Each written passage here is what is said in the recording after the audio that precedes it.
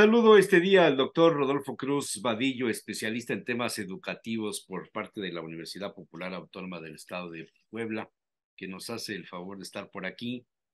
Hay, hay varios temas, doctor. Este, he oído tantos. Saludos, saludos.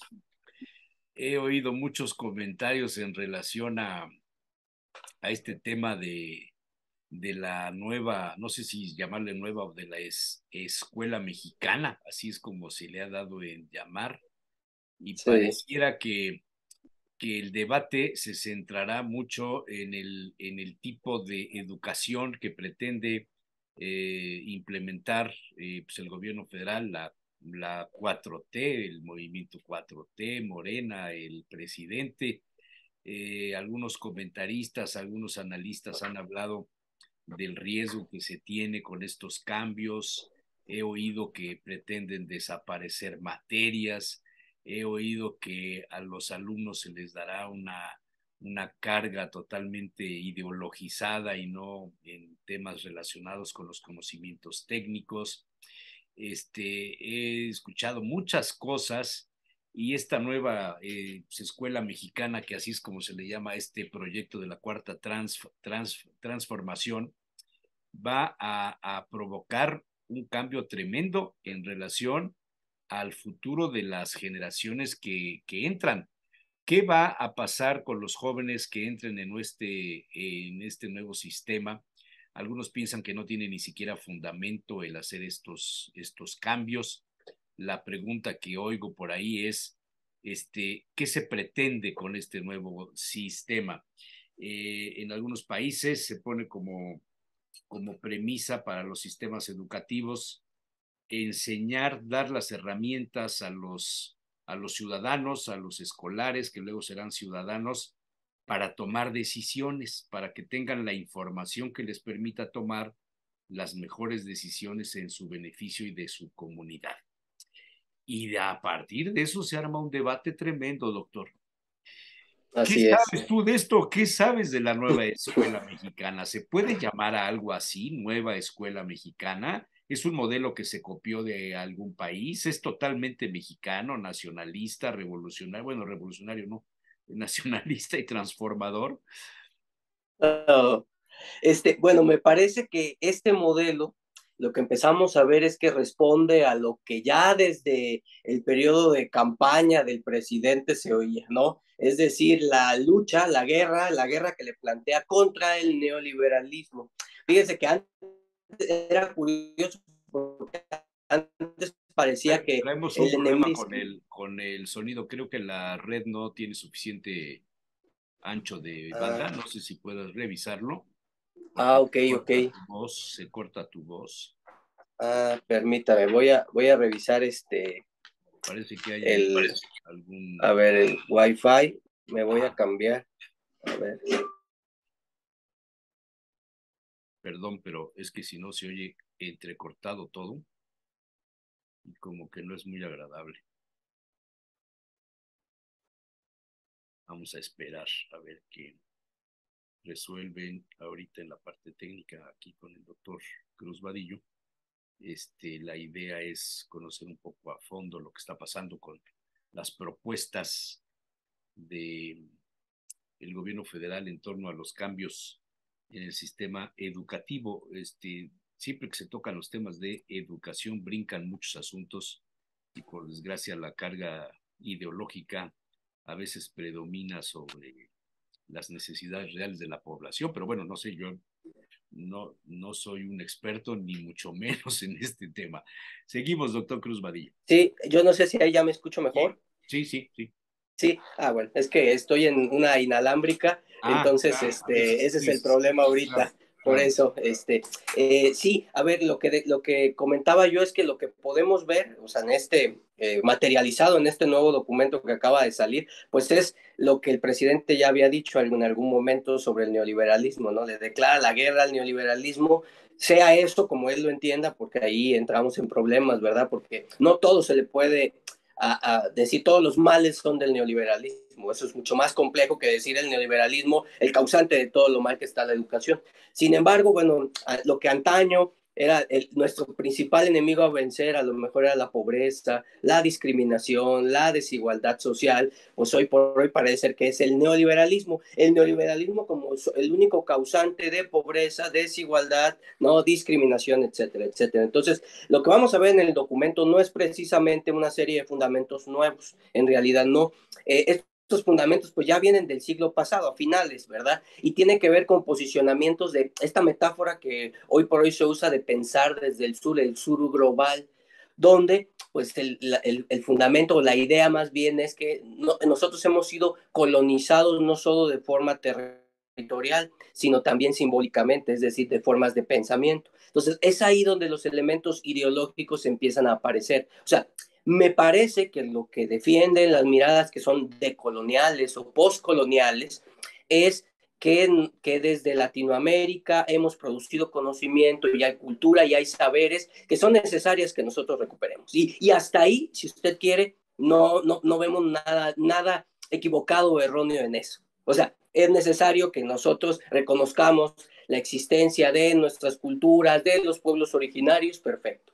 Lo que me parece que puede ser peligroso es negar un conocimiento que dice Tenti Fanfan, vamos a ponerlo así, una serie de conocimientos poderosos. Es decir, yo necesito conocer mi cultura, mi realidad inmediata, tener esos, esos saberes, reconocerlos, respetarlos y valorarlos, sí, pero no al precio de quedarme al margen de cuáles son esos saberes más universales que circulan a nivel planetario y que, dice Tenti Fanfani, funcionan como conocimientos poderosos en la medida que me permiten esas transformaciones, que me permiten comprender esa complejidad del mundo en el que vivimos, que está globalizado, que es planetario. Entonces, una visión no tendría que ir precisamente con la extinción de la otra.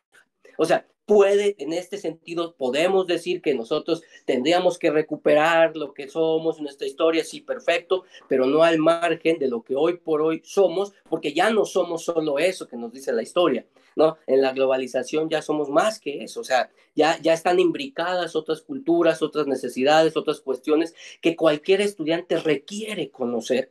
Pues, ¿para qué? Para cuando salga al mundo, no solo salga al mundo y el mundo es México, que pueda salir al mundo y el mundo está allá afuera, y que pueda comprenderlo, y que pueda transformar la realidad a partir de ese tipo de herramientas. Y me parece que es ahí donde vienen las fuertes críticas, es decir, recuperemos esto, sí, pero no al margen de aquello que los estudiantes van a, van a necesitar cuando entren al mundo, al mundo, ¿no? Al mundo eh, que está allá afuera y que les va, que los va a interrogar constantemente. Doctor, ¿tú ya leíste el documento? Sí, ya. ¿Qué, ¿Qué, es lo que te espanta? ¿Cuáles serían los puntos a destacar de decir, híjole, esto está muy peligroso? Bueno, a ver, ¿qué es, qué es lo primero que yo diría que me asusta antes de, incluso antes del documento, o sea, antes en sí del contenido? Es el momento en el que se está planteando.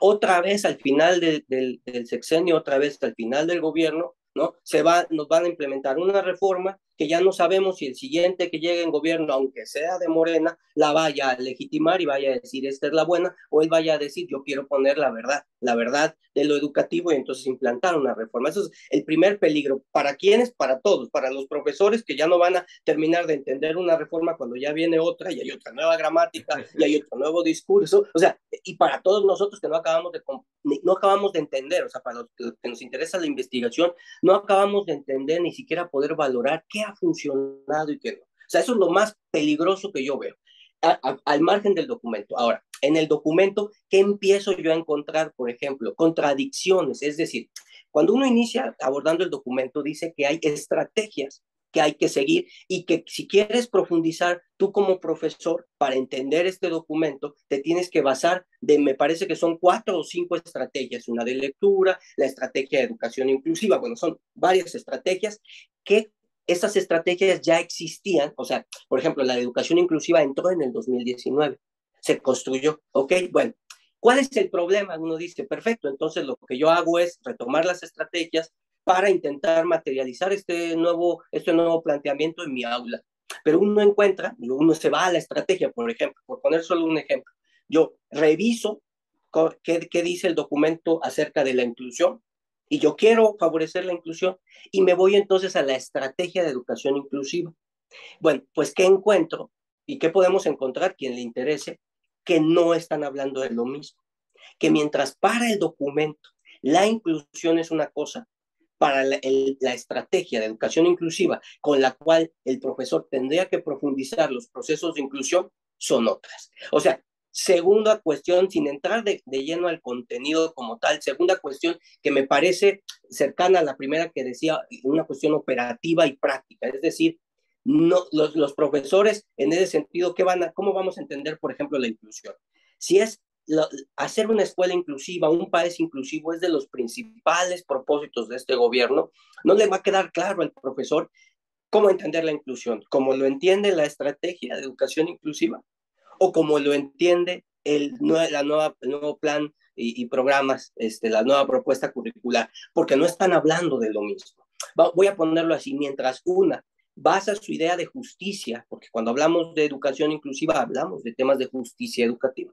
Mientras la primera, que es la estrategia de educación inclusiva, basa su idea de justicia en una noción de accesibilidad, de adaptabilidad, de asequibilidad, de una justicia eh, entendida como equidad, esta ya cambió su fundamento de justicia y la justicia educativa acá se entiende como capacidad, aunque, aunque me parece que está abordado muy pobremente, pero sobre todo como reconocimiento, o sea, la justicia como un elemento político. En realidad, las visiones no están peleadas en sentido estricto, pero no están hablando de lo mismo. Y entonces, cuando el profesor diga qué es la inclusión, ¿a quién le hago caso? A este programa, a otro, que me parece que es lo que hemos em, también visto con los, con los libros de texto gratuitos, con otros materiales, es decir, no, como lo han hecho, vamos a ponerle así como al revés.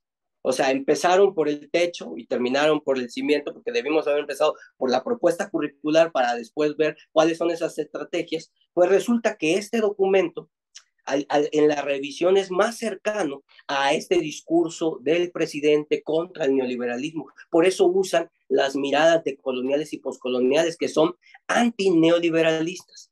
Pero resulta que varios instrumentos que tiene para su gobierno, incluso que están contenidos en la ley de educación, en el plan sectorial, están hablando de otra cosa. Entonces, aquí lo que no vemos es alineación que eso es lo segundo que diría me puede asustar en la medida en que no va a permitir a los profesores pues, que tengan claridad acerca de qué es lo que tienen que hacer en las aulas.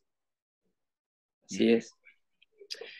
Eh, los principios educativos, enseñar a leer, escribir, sumar, restar, multiplicar, el conocimiento de la geografía mexicana, el conocimiento de la geografía mundial, la historia de México, antes y posterior a la llegada de los españoles, este, eh, los, temas de cultura general, las costumbres, la comida, el folclore, permanecen intactos?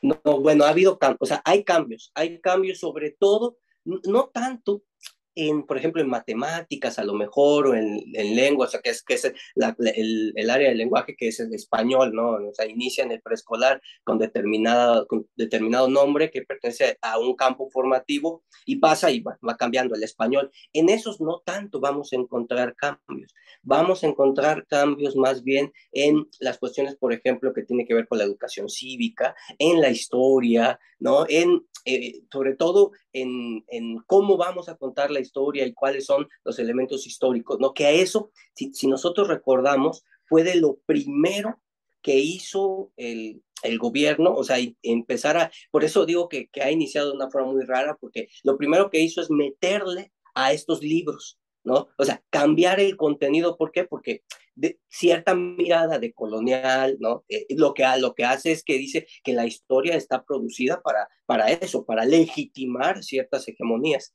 Entonces el discurso que manejan pues necesita precisamente reescribir la historia. O sea, la historia es de los vencidos, por ejemplo, la otra historia. Es ahí donde vamos a encontrar otros elementos que me parece que sí han cambiado en orientación, que habría que verlo porque hoy por hoy todavía es una maraña, es decir, o sea, hay una propuesta ahí que no está claro en los libros de texto y entonces no sabemos cuál es la, por ejemplo, la visión con la que se van a quedar. Por poner solo algún ejemplo, ¿no? En la cuestión de cívica. De repente aparece esta idea que eh, los estudiantes, a ver, eh, se sostiene la idea que la participación democrática no se limita al voto, ¿no? En una cuestión cívica. Y eso es importante, ¿ok? No se limita al voto. Entonces, para construir ciudadanía, que de eso es lo que está hablando también en la nueva propuesta, pues se requiere que las personas participen. Pero de repente hay ejercicios que se contradicen, porque si estamos en contra de una de una democracia entendido como algo representativo, pues de repente hay un ejercicio ahí donde aparece en el libro que dice que los estudiantes revisen cuáles son las propuestas de los partidos políticos, cuáles se cumplieron, cuáles generaron mayor, este, eh, eh, no, no, solo eh, bienestar, sino también un efecto de, de que, que, yo estoy este, tipo como si fuera una tienda departamental, ¿no? ¿Qué tan, qué tan contento me tiene eso? ¿Qué tan, ¿no? ¿Qué, qué tan feliz me hace determinadas cuestiones? bueno, eh, ahí el problema, pues es que el problema no es de partidos políticos.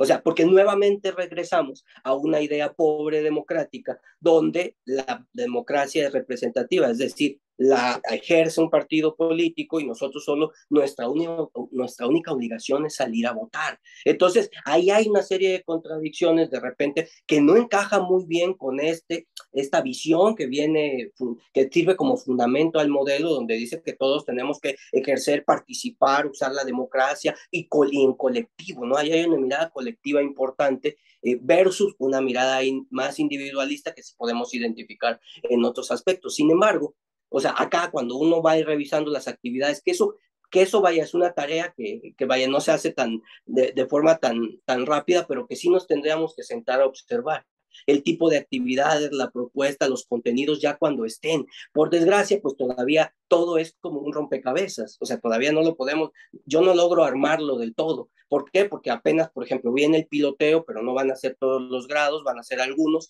y esto va a implementarse hasta el próximo ciclo, que ya viene la salida, ya no sabemos. Leí un documento que, que publicó Proed, que está relacionado con el ITAM, eh, se llama Pro, Pro Educación APA Y dice, entre otras cosas, que la nueva escuela mexicana se define como un modelo educativo, un conjunto de reglas y procesos que guían los procesos de enseñanza y aprendizaje.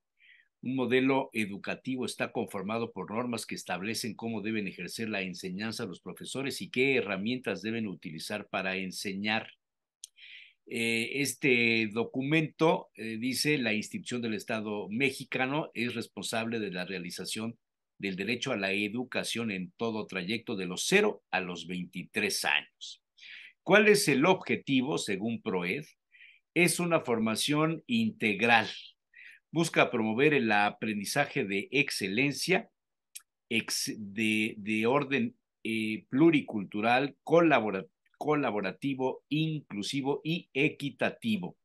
Para lograr esto, la nueva escuela mexicana plantea adaptarse a cada una de las regiones del país. Ahí me brinca tremendo, porque entonces el profesor de Chihuahua no podrá ser profesor en Oaxaca o en Chiapas o en qué sé yo.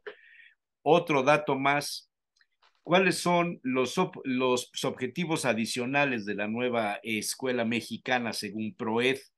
La inclusión de la perspectiva de género, la formación ciudadana, la creación de una cultura de la paz, mejorar la actividad física, impulsar el arte, la música y la tecnología. ¿Qué cambios hay en el artículo tercero de la Constitución en relación con este nuevo modelo? El fomento de la identidad mexicana, el aprecio por la cultura, la historia, etcétera, de México, la responsabilidad ciudadana, el inculcar los valores cívicos como la honestidad, el respeto, la justicia, la solidaridad, la reciprocidad, la lealtad, la libertad, la equidad y la gratitud. A mí esto me lo enseñaban en el catecismo. El compromiso con la honestidad se requiere para desarrollar el país con base en la confianza y en el sustento de la verdad de todas las acciones. O sea, ya no va a haber regalitos a los profesores para que te pasen de año, ni, ni las juntas de padres de familia van a influir en qué alumnos van en primer lugar o a quién le van a dar la medalla de una conducta, o esas cosas que sabemos que nunca pasan. La participación en la transformación de la sociedad. Se buscará que el alumnado luche por transformar su entorno mediante su involucramiento en actividades de la comunidad escolar, algo así como el servicio a la comunidad que eh, hace muchos años en las escuelas había esto de colaborar con los vecinos, de asistir a las jornadas, a las campañas, reforestación, qué sé yo.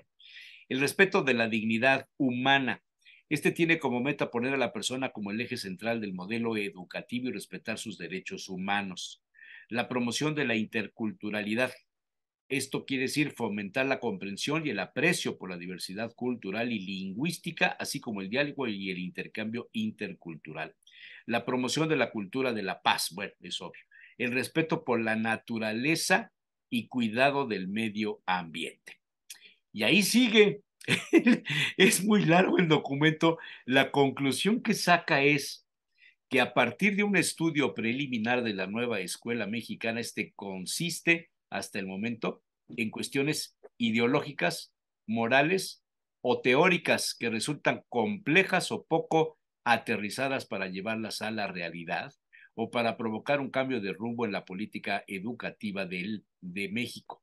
Para que estas propuestas tengan efectos reales en las escuelas mexicanas, hace falta un plan detallado de las acciones que deberán em, emprenderse para cumplir los propósitos de la llamada nueva escuela mexicana. Si bien se trata de una primera guía, el plan es necesario para poder convertirla en una realidad.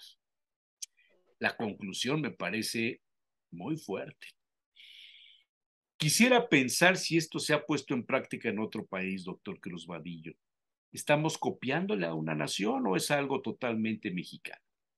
No, yo, a ver, yo creo que es más complejo como haberle copiado y que solo sea mexicano. Me parece que hay elementos mexicanos que traen de fondo que tienen que ver con nuestra propia historia, con nuestra propia cultura, pero hay otros elementos que, que han estado presentes, ¿no? Por ejemplo, mucho de esto está, eh, lo podemos hacer visible al sur.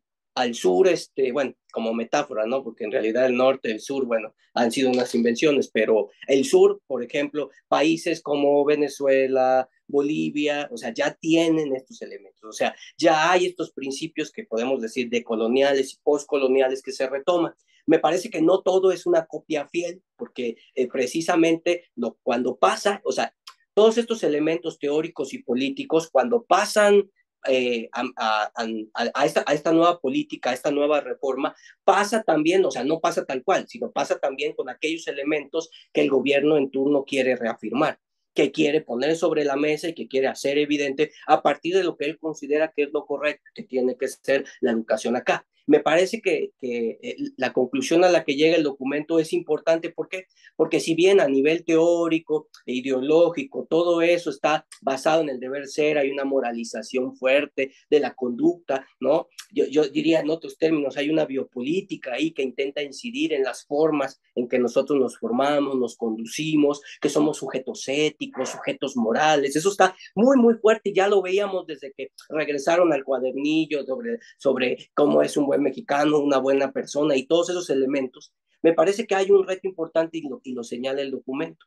Y es que tanto, por ejemplo, en este momento los profesores tendrán claridad en qué es eso. Por ejemplo, tendrán claridad en qué es una mirada de colonial, qué es un elemento hegemónico que está ahí, que es una opresión, pero si no nos ponemos de, de, acuerdo en este momento en la discusión de si se reforma el INE, si, si Pemex, si las, la producción de las energías limpias, si, si, no nos ponemos de acuerdo en cuestiones técnicas que derivan de la tecnología, nos vamos a poner de acuerdo en definir estos aspectos.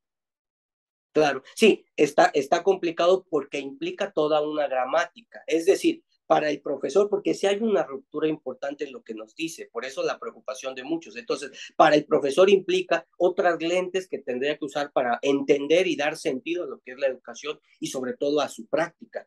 Y esto no se construye de la noche a la mañana. La transformación social y educativa es muy lenta. O sea, no se va a dar por decreto porque lo dice un documento. O sea, se tiene que empezar a materializar en las prácticas y para ello los profesores lo primero que tienen que hacer es comprender qué es lo que quiere este documento. Y el problema es que eso no va a pasar ni hoy, ni mañana, ni pasado mañana tendrá que pasar conforme pasa, pasa, el tiempo, algunos años, donde los profesores empiecen a ver precisamente que es posible esos cambios y cómo empiezan a transformar las prácticas a partir de eso.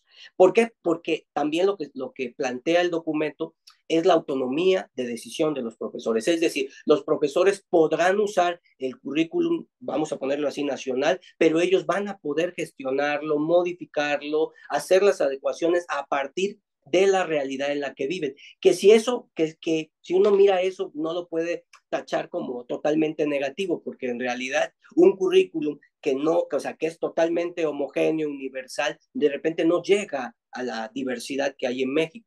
Sin embargo, para ello requerimos profesores que hayan desarrollado autonomía, completa autonomía. Que hayan pasado el examen de la nueva escuela mexicana, que no, yo, a ver, ese, ese es otro detalle. Las, las críticas, doctor Cruz Vadillo, dicen eh, que, que no se consultó con los profesores, que es, un, es una, una creación eh, de gabinete de los especialistas, el mejor de los casos de los especialistas, quiero pensarlo de buena fe, que proponen estos cambios. Los profesores no fueron consultados. Hay un rango ahí, hay un tema que tiene que ver con las horas que se dedican a cada una de las áreas. Parece ser que hay áreas donde se reducen, otras donde se hace más, se le dedican más horas, hay unas que quedan al libre albedrío de cada profesor, si le refuerzas aquí o le quitas allá. Este, hay eh, temores de que los alumnos no se adapten en los cambios con el sistema que traían y de pronto van a entrar a, otro sistema. Alguien me hacía un comentario que no sé si tenga valor o es simplemente algo de, de bullying, de meme, dirían los chavos. Es como si a un niño que está en una escuela de las de gobierno normales o de la iniciativa privada, lo cambias a la mitad del curso a un sistema Montessori. O al revés.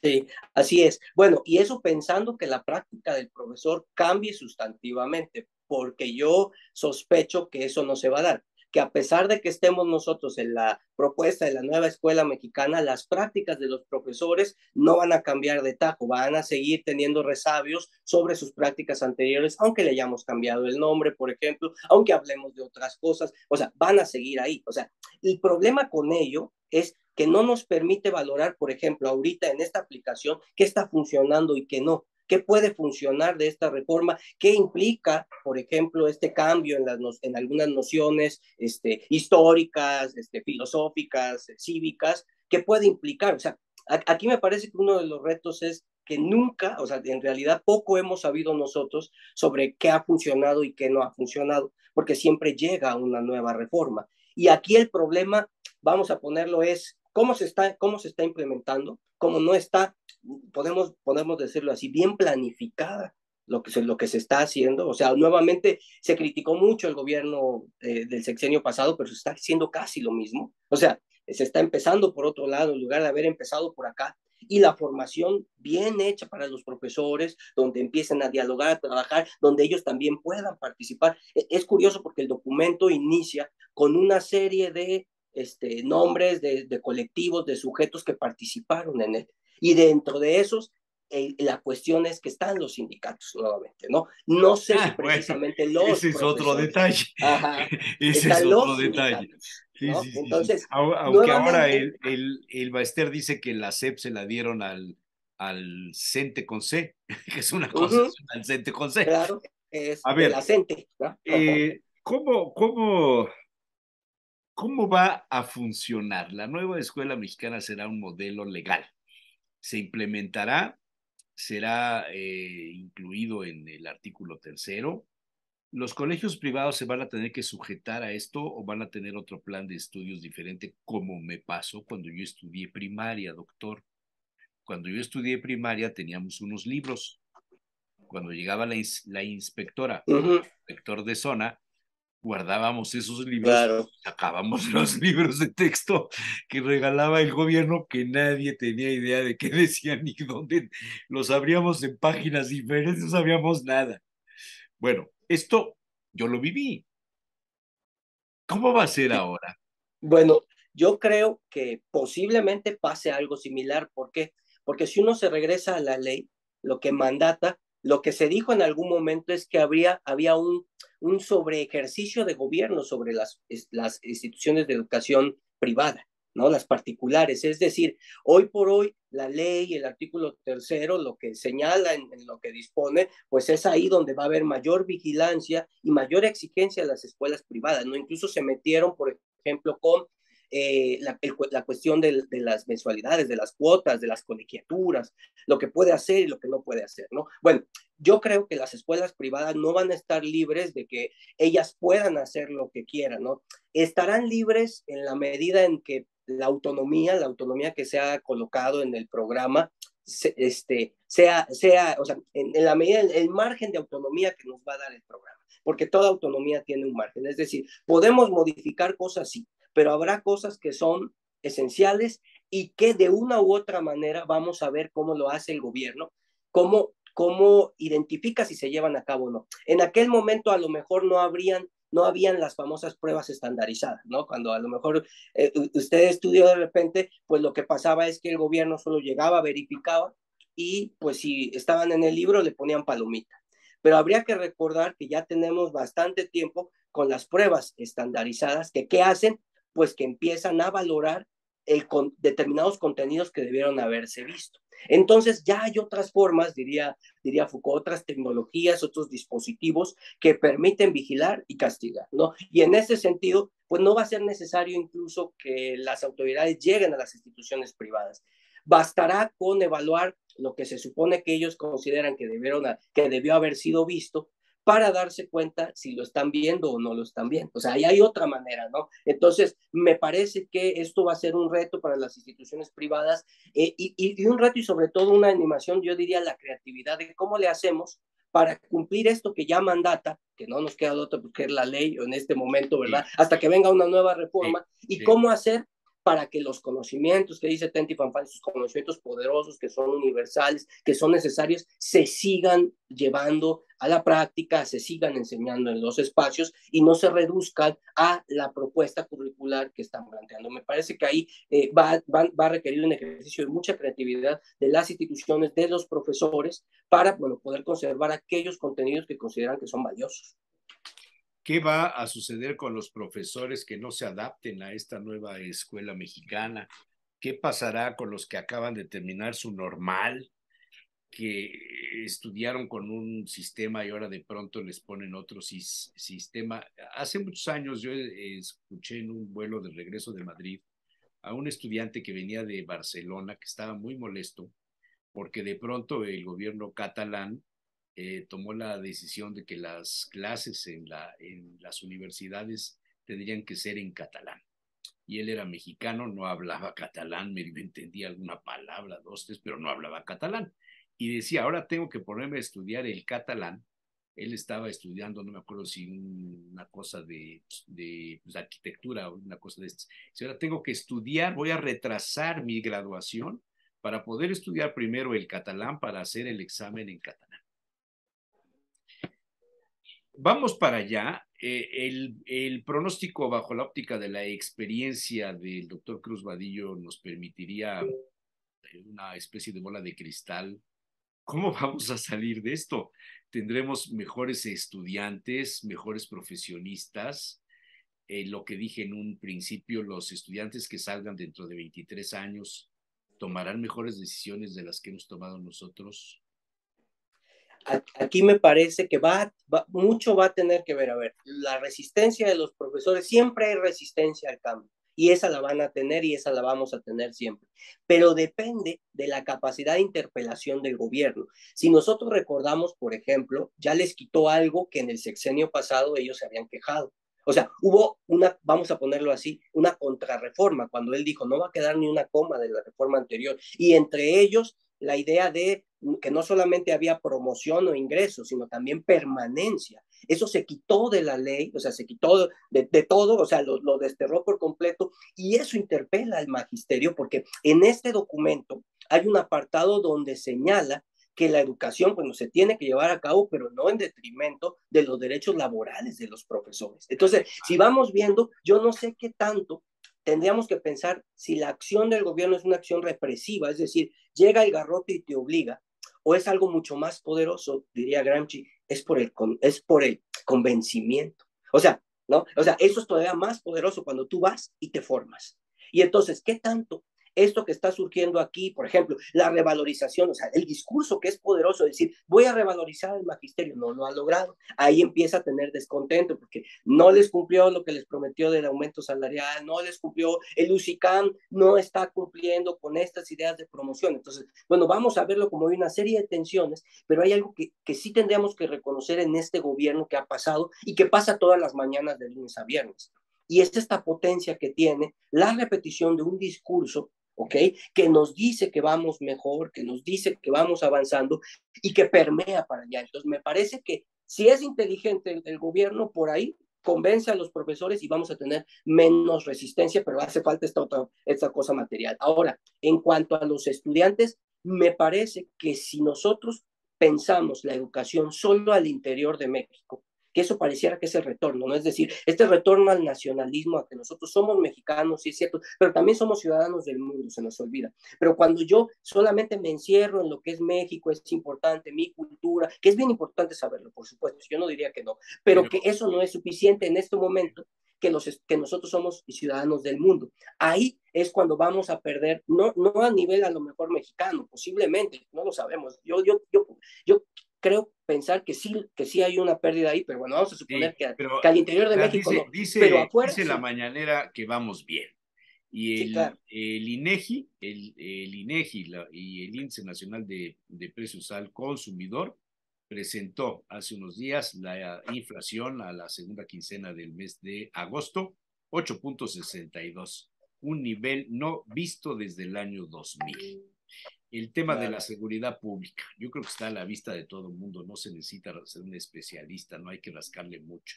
El tema del desempleo, el tema de la, de la, de la inseguridad personal que siente cada ciudadano, cada estudiante. Escuchaba yo un comentario del rector en el IPADE que decía que hoy más que nunca los jóvenes tienen miedo del futuro y esto es algo que antes los jóvenes no padecíamos. Los, los jóvenes eh, teníamos las ganas de conquistar el mundo y de triunfar y enfrentábamos cualquiera de las adversidades que se presentaban y ahora resulta que los jóvenes tienen miedo al mundo, al futuro. El tema de la salud, no están llegando las medicinas, este, o sea, ¿a dónde estamos bien? Y luego, ¿es irreversible la decisión de la nueva escuela mexicana? No, bueno, ha pasado como las últimas reformas. O sea, si, si llega un cambio de gobierno, lo más seguro es que viene para atrás todo. O sea, aquí el problema es pues, que nunca terminamos de, de concretar algo, de entender algo cuando ya viene lo nuevo, ¿no? Y en cuanto a, a lo primero que decía, me parece que aquí el discurso que maneja también es poderoso porque si bien nosotros empezamos a reconocer, o sea, todos estos problemas que trae la información, habría que recordar que el discurso del presidente casi es de duda sobre los datos, de duda sobre la ciencia, de duda sobre el conocimiento. Y entonces, él para gobernar se basa en los que algunos este, economistas de la felicidad utilizan, ¿no? Y es decir, el grado de satisfacción. Y él lo usa, dice, a ver, ya no, no, no tenemos, este, él puede decir, pues no, en los niveles de Bienestar es la, la palabra que usa es bienestar. Exacto, ahí, ahí va, no tendremos todo lo demás, pero hay bienestar. O sea, traducido, la gente se siente bien y está satisfecha, el grado de satisfacción. El problema con pensar el grado de satisfacción solamente a una medida subjetiva es que no nos permite ver que las cuestiones estructurales, materiales están cambiando. Más bien es esta casi idea, me parece muy ingenua, decir, cambia tu, tu forma de ver el mundo y cambia el mundo. ¿no? Entonces, todo está en el cristal con que lo veas. Entonces, eso también es bastante peligroso porque lo que hace es que yo pueda decir que tengo bienestar aunque no tenga que comer, me explico, aunque viva al día, aunque esté padeciendo, aunque haya inseguridad. aquel asunto de los niñitos que andaban tras del pájaro de la felicidad. ¿No? O sea, es muy grave. Esto que estás diciendo es muy grave. Claro. Y eso, y eso aparece en uno de los ejercicios, es decir, y identifica el nivel de satisfacción que estas políticas de determinados partidos tienen. Y yo diría, a ver, no es el nivel de satisfacción. Hay que analizar el impacto que ha tenido en los niveles precisamente de desarrollo que tenemos, de poder adquisitivo. O sea, esas cosas que en este discurso parecen ser, como son neoliberales, están desterradas. Los colegios eh, alemán, francés, eh, eh, el, inglés, que tienen asentados algunas franquicias en nuestro país, ¿se sujetarán a la nueva escuela mexicana o van a continuar con sus programas de ese modelo que en otros países ha funcionado? La primera escuela que hubo en México no fue una escuela producto ni de la independencia, ni, de, ni del cuarismo, ni del porfiriato, ni de la Revolución Mexicana. Fue influenciado por la por, por, por, el, por el colegio español, por la escuela española, ¿no? Que se intentó hacer la iberoamericana y que hasta la fecha hay residuos muy pronunciados en este asunto. Eh, este, o sea, esto no vendrá a provocar la formación de más élites o de élites más exclusivas todavía por encima de, la, de lo que hemos vivido.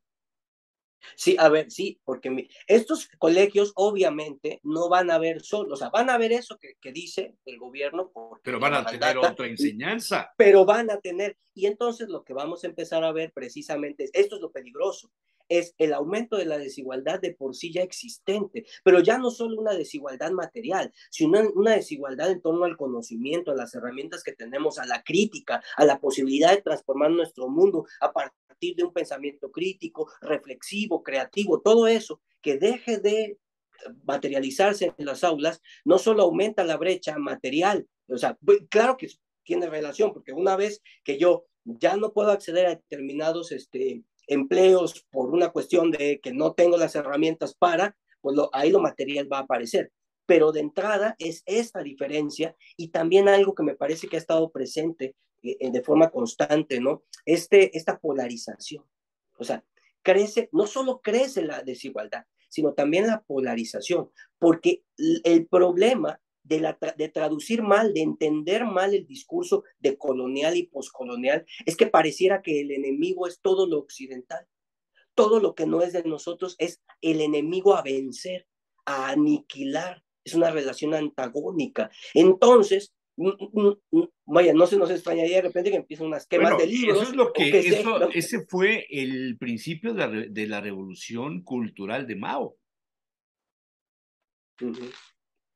Así es, o sea, y es potente ahí. O sea, esto, e, esta polarización es potente en ese sentido, donde habrán unos que dirán nosotros, a ver, ¿quién, quién tiene la verdad en este momento? O sea, ¿quién tiene la razón? Y el presidente no ayuda cuando se para en el púlpito cada mañana a decir que el problema son ellos, o sea, de carne y hueso, nombre, gente, o sea, eh, eh, si somos intelectuales, la mafia, ¿no? Los, la mafia de la ciencia, ¿no? Los científicos de la mafia del poder. Entonces, todo el CONACYT, el CONACYT, ahí, ahí cabe perfectamente bien, claro, claro. todo lo que no comulga como yo pienso, entonces es antagónico, es peligroso y entonces hay que aniquilarlo. Entonces no solo es la desigualdad que puede existir, sino también la polarización en cuanto, en tanto, habrán unos que estarán parados en la razón y en la verdad y habrán otros que no. ¿no? Y eso, eso puede ser peligroso socialmente hablando, políticamente hablando. Qué fuerte. Qué fuerte. Caray. Pensé que iba yo a despejar dudas, pero ya, ya, ya tengo más preocupaciones que al inicio. No, no, no, no, no, no. Pues no sé si eh, hay algún otro comentario, algo que se me haya pasado, algo que quieras reforzar, que quieras eh, eh, este, algo que no, que no hemos tocado, que no has tocado, doctor Cruz Vadillo. Bueno, me parece que, que en realidad hemos, de, genéricamente hemos abordado todos los temas, vamos a poner preocupantes, ¿no? Habría que ver cuáles son las acciones, cómo se va materializando, y es aquí donde de verdad requerimos profesores profesionales con pensamiento crítico, reflexivo. ¿Por qué? Porque en sus manos estará también hacer este ejercicio de traducción para con los estudiantes, no recitarles el catecismo sino ponerlos a pensar y a problematizar. O sea, es aquí donde la formación docente vaya que la, requerimos y no sabemos en este momento, por ejemplo, cuál es la condición que las escuelas formadoras de docentes tienen. O sea, cuáles son esos elementos que tienen de verdad para ir formando docentes y porque ya sabemos que la formación continua no es precisamente la mejor, los docentes están necesitados de, este, de cierta formación, de cierto conocimiento que no llega. Entonces, bueno, pues ahí tenemos un, reto fuerte, ¿no? Aquí, aquí el papel del profesor me parece que va a ser vital, porque a él le va a tocar que pase por, la, por cierta grilla, ¿no? Analítica este tipo de discursos y que coloque a los estudiantes en una posición crítica también. Me quedo con la idea de que esta nueva escuela mexicana y como se plantea su pues, implementación, lo que va a provocar va a ser la exacerbación más profunda todavía de las diferencias entre los mexicanos. ¿Estaría yo en lo correcto? Y sobre, ah, sí, y sobre todo la diferencia entre en, esta idea a lo mejor de que el rico es malo, el que tiene dinero es malo, la, clase media es mala, el científico es malo, ¿no? Y no las otras diferencias que, que hemos abordado, que son la, la cuestión de etnia, de, de, de, raza, aunque ya no, ya no existe la raza. O sea, esas son esas otras diferencias que, que tendrían que ser, o sea, que tendrían que ser el, el, el, uno de los principales objetivos, o sea, acabar con la discriminación acá, sí, pero no este, sobre la idea también de construir nuevos antagonismos. Eh, y en ese sentido de todos los demás que no son este, este, este club, ¿no? Casi de Toby, donde la membresía es pensar como piensan algunos y entonces tú sí, eres del pueblo y si tú ya no piensas como yo, ya no eres del pueblo. Qué fuerte, qué fuerte, qué fuerte. Doctor Cruz Vadillo, muchísimas gracias. Espero tener la oportunidad y la confianza de otros comentarios en el futuro inmediato. Con mucho gusto. Creo que el tema de la educación nos debe de ocupar muchas horas a los medios de comunicación. Así es, ¿no? muchísimo gusto, un saludo, este, pues buen día. Muchas gracias al doctor Cruz Vadillo, muy amable. Gracias a, Juanito Méndez, que, que, nos hace el favor de enlazar siempre con los catedráticos de la UPAE. Gracias, buen día. Buen día.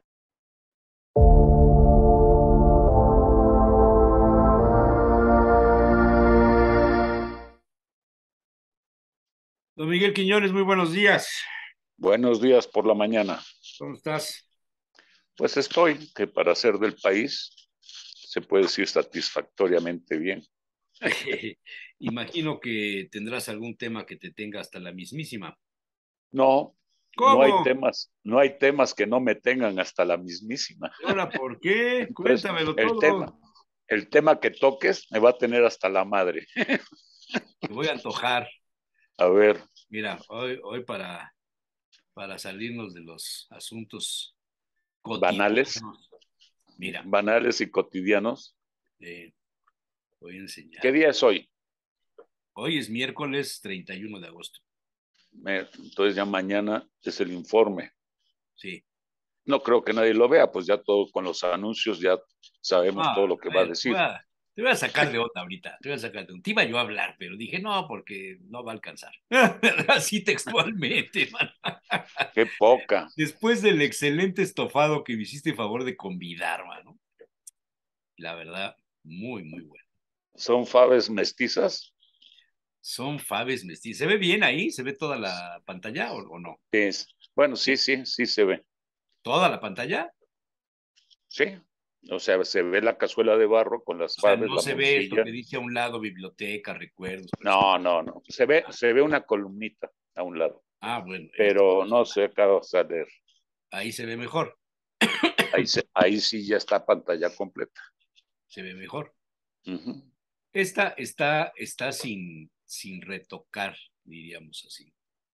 Entonces, aquí le voy a dar un poquito de y ahí queda mejor. De Photoshop. para que se vean los, los colores. Quiero que observes toda la revoltura de cosas que hice, man. Resulta que sobró sopa de alubias. Tiene que ver, man. Sobró sopa de alubias, solo un poquito ahí, una orden. Y había faves, había longaniza, que está aquí, había morcilla de cebolla, y luego se apareció un chorizo. Digo, se mm. apareció porque ese no estaba considerado. considerado. Ahorita te pongo lo que siguió a continuación. Ese ya es otro asunto. ¿Ya, ¿Ya viste cómo tomó color? Ya tiene un color antojadizo. Antojadizo.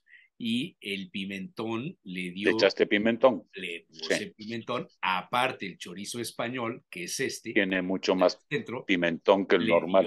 le dio pimento, le dio un saborcillo. Mira. Ahí ves perfectamente bien. Tu platito. No, no, ves, ves la, la, cazuela de faves, las alubias casi se deshicieron, con lo cual. Y lo que se redujo, y lo que se redujo se le dio la, la reducción. Ahí tienes el plato. Pues qué poca madre. Que hoy tampoco podría ir aunque me hubieses invitado. Pero... Oye, espérame, porque si oye lo que están hablando. No, no para nada. No más te oigo a ti. arriba de mí y es espantoso estar oyendo las cosas que Mira nada más esto, man. ¿Qué te parece, caray? Me parece que tienes muy poca abuela.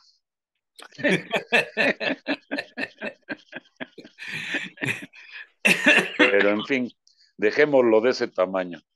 Yo hoy voy a comer moros con cristianos y también me gusta mucho. Los moros con cristianos son, son muy buenos. Que la receta parece que es más cubana, más eh, más de casi, Centroamérica, del Caribe, ¿no? Casi toda Latinoamérica, bueno, sí, alrededor del Caribe casi todos lo tienen como plato principal. Cuba, Costa Rica, que cómo le llaman gallo, ¿qué? Ajá, gallo. un nombre. Sí, un gallo, es algo de gallo, gallo no sé qué. En Venezuela es el plato típico. Solamente en Venezuela le agregan el plátano frito. El plátano eh, es el plátano macho de, acá, porque allá los, los bananos, el plátano que aquí conocemos como plátano, allá se llama cambur, y el plátano macho se conoce como plátano. Ese lo fríen, normalmente queda muy mieloso, y se le agrega los frijoles con arroz blanco. Pero a mí no me gusta en particular, a mí no me gusta combinar dulce con salado. Yo aquí, mi versión de los plátanos es que le pongo al arroz, le pongo rajas de las que están en vinagre con la zanahoria y eso se le agrego al arroz cuando lo estoy haciendo. ¿Pero lo haces caldoso?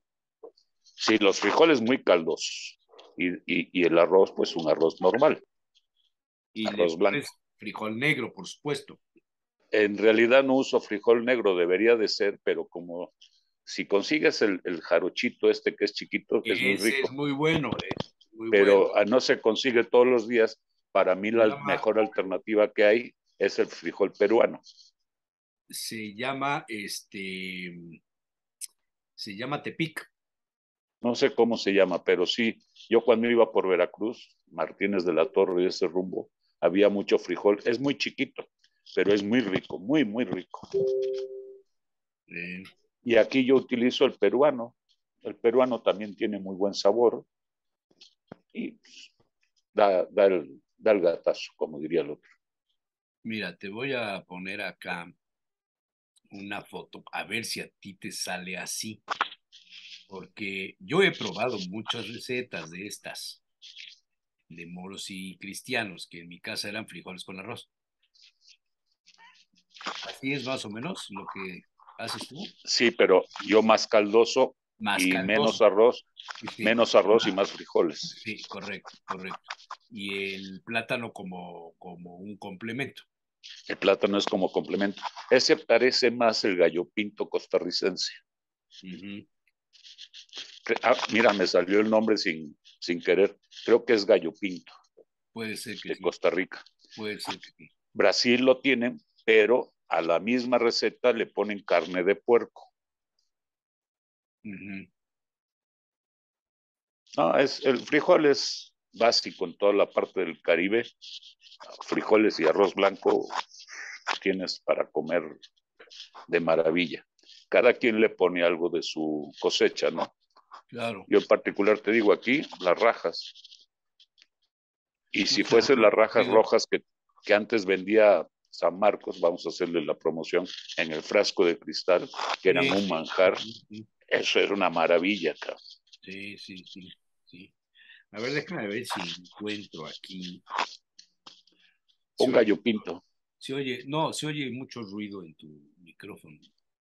En mi micrófono no, no tengo nada, ningún ruido. Aquí está, mira. Esta es una nota que yo subí hace como dos meses en el portal. Por eso fue que me quedé medio callado porque no la encontraba. Tuve que ir al archivo. Moros y Cristianos, una receta muy hispana y con mucha historia. Y dice, el nombre tiene su origen en la reconquista española, aunque hoy es mucho más conocido por su arraigo en la zona del Caribe. Y ahí está la eh, foto de lo que ellos eh, proponen. Dice, Moros y Cristianos es una receta que tiene muchos años de historia y es conocida en distintos países con distintos nombres, lo que tú decías. En Costa Rica se llama gallo pinto y es su plato nacional. En México, pispiote, nunca lo había escuchado. Yo tampoco. En El Salvador, casamiento. Y en España, moros y cristianos. El nombre se debe moros por frijoles negros y cristianos por el arroz blanco. El nombre tiene su origen en los ocho siglos de la Reconquista española, aunque hoy es mucho más conocido por su arraigo en la zona del Caribe. Evidentemente llegó a América de la mano de los conquistadores. En Costa Rica este es un plato que sirve para acompañar un desayuno, pero en otros países se usa como plato principal. Originalmente se trataba de un plato de resistencia totalmente de vegetales, pero con el paso del tiempo se fue modificando y se le añadieron alimentos del reino animal como chorizo, chorizo, panceta, salchichas, carne picada, entre otros. Los moros y cristianos es un plato habitual de cocina sostenible porque combina múltiples vegetales solo con algún tipo de carne. Esto ayuda a disminuir la huella ecológica. Como expresó a sus fieles el Papa Francisco, que es el deber de todos cuidar nuestra casa común, y promover una cocina más consciente y sostenible de los alimentos que nos regaló el Señor. Y vienen los ingredientes eh, de esta receta.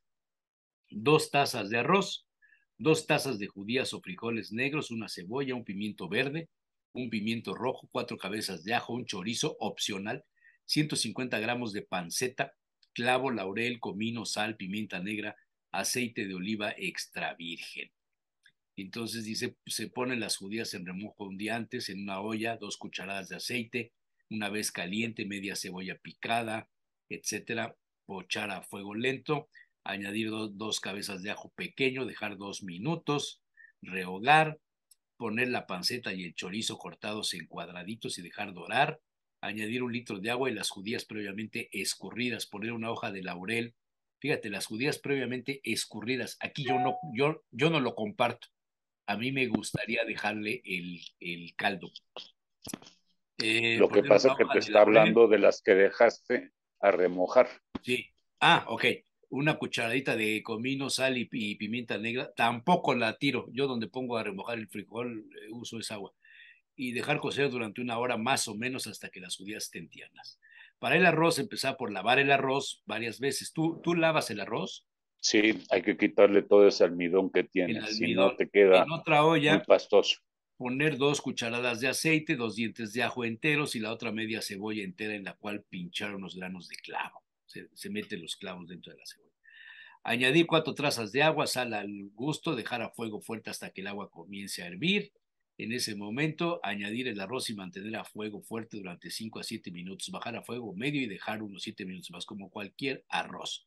Eh, este, está la proporción del arroz con, con, con, el agua, pues creo que es la misma que en todas partes, ¿verdad? Sí, sí, dos a uno.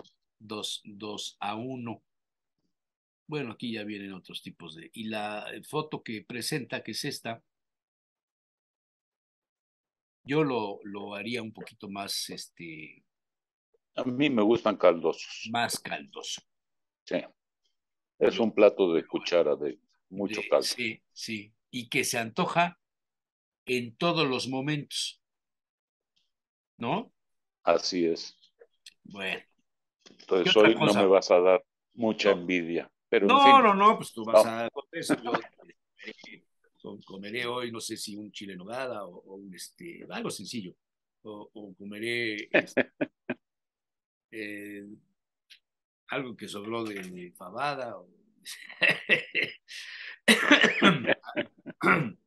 bueno, en fin. Otros asuntos, ya pasamos por el mercado, ya pasamos por la comida, ya pasamos por el chiste. ¿Cómo ves lo que está pasando? ¿Qué esperas del informe? ¿Qué esperas de, de lo que nos vayan a decir este primero de septiembre? Hay mucha especulación en torno a, a, los hechos políticos. ¿Qué sé yo? Mira, viendo la viendo la fórmula. Cortaste. Y es increíble. Te cortaste. Radio Fórmula. Te cortaste. Ah, yo veo, yo veo Radio Fórmula. Ahí se escucha. Ahí ya. Yo veo Radio Fórmula y es incalculable la cantidad de spots que hay alrededor del, del informe, ¿no? Sale con prácticamente toda la, la, la, plana mayor de la Guardia Nacional y de la seguridad. Eh, habla, habla de muchas Estos son los que me apoyan, ¿no? Así es. Y lo dice, este es el, el equipo que me, que me cuida. Pero yo creo que, que, está, está muy sesgada la información que se va a dar en eh, hay otro que no sé si lo has visto, donde la cantidad de, de, de homicidios, creo, de sí, el asaltos, sí, que pone con Fox uno, 1.9. Ajá. Y aquí menos 10 o menos 15. Pues dices, tenemos más de 130 mil muertos. ¿Cuál es, la ¿Cuál es el descenso del 10%? Entonces, pues ya viendo eso, ya sabes que va a estar dirigido pues, a quien no tiene información, a quien lo que le digan, pues va a ser la Biblia. Pero para los que tenemos cierto, cierto conocimiento de las cosas, pues la verdad va a estar plagado de mentiras. Es lo de Laguna Verde y el exceso de inversión, porque había cosas que no estaban consideradas. Pues dices, pues qué hubo. O sea, cuando uno planea una, una empresa de ese tamaño y alguien ya te cotizó 13 mil millones de dólares. Ramírez de la O, que había sobre, sobre costos. Pero Así es. Todos los informes, todos, no, no, no son así, ¿no? O sea, ¿quién dice realmente la verdad de las cosas? Todo maquilla las cifras, maquilla los textos, etcétera, para, para, para decir lo que quieres decir. Se convierte más en un escenario de un mensaje político, que en el caso nuestro lo recibimos todos los días durante dos horas. Todos los días hay un mensaje político, todos los días hay un informe, todos los días hay, hay un, una aproximación al, al informe anual pero es más el escenario político que una rendición de cuentas de lo que está pasando, de lo que hay. Que es lo que se supone que debería de ser. Pero nadie lo hace así, no es el único. Ni nadie lo, ni lo hacen, ni lo han hecho, ni lo harán, porque no les conviene. O sea, hablar con la cruda verdad ocasiona muchos conflictos y a lo mejor muchos temores. Entonces, pues es muy difícil que lo vayan a hacer la verdad es que yo difícilmente, creo que el último informe que vi fue cuando íbamos a defender el peso como perro y, se acabó. y ya pasó años, ¿eh? ya pasó, ya pasó tiempo. este, cuando nos dijeron que había que aprender a administrar la abundancia, ¿te acuerdas? Sí, exactamente, me acuerdo perfectamente porque hayamos descubierto el depósito teníamos una cantidad de ahorros de dineros del petróleo. Y entonces nos dijeron, ahora hay que aprender a administrar la abundancia. La riqueza. Y la riqueza.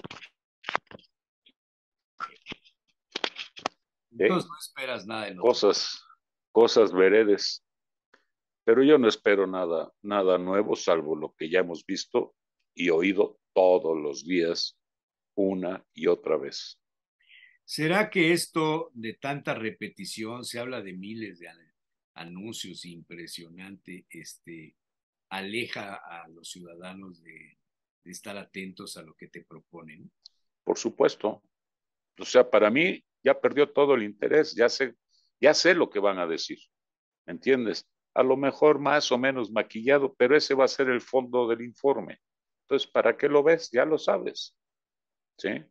Entonces, no, no tiene mucho caso, mucho sentido.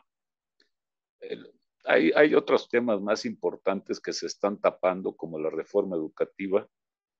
Seguimos con los problemas de salud, o sea, no de, de, de salud del COVID, sino todo lo relacionado con el cáncer, la falta de, de, medicinas. Estos son los detalles importantes, el tema de la reforma eléctrica, el qué se va a hacer. Ya California ya está sufriendo por el estado más rico posiblemente de, del mundo, el estado de California, ya tiene conflictos y, graves problemas. Y nosotros no vemos, ya sabemos que la FED va a subir otra vez medio punto y seguramente lo que queda del año va a ir subiendo un cuarto o medio punto dependiendo de cómo vaya el tema inflacionario. El desempleo en Estados Unidos está creciendo y nosotros no somos ajenos, nosotros vamos de la mano. Cuando el desempleo en Estados Unidos llega a niveles de casi el 5%, México está en serios problemas. El tema del litio todo lo que está relacionado con el litio. Nosotros, ¿de qué nos sirve tener las reservas si no las sabemos explotar? O sea, hay muchos temas que te sacan de balance y dices, bueno, pues a ver qué hacen. Ya quedan, quedan dos años, ya no le va a dar tiempo. Y entonces, ¿cuál va a ser la opción o la alternativa para corregir toda esta problemática? Porque él ya dijo, no nos va a dar tiempo. Entonces, ¿qué? ¿Qué va a pasar? Estoy a lo mejor buscando una, una colaboración.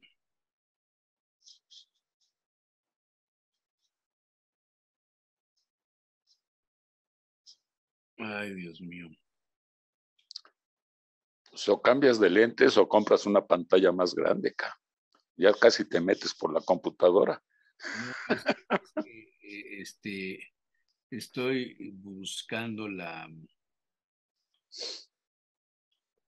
la colaboración de Ana María Olahuenaga de, de esta semana.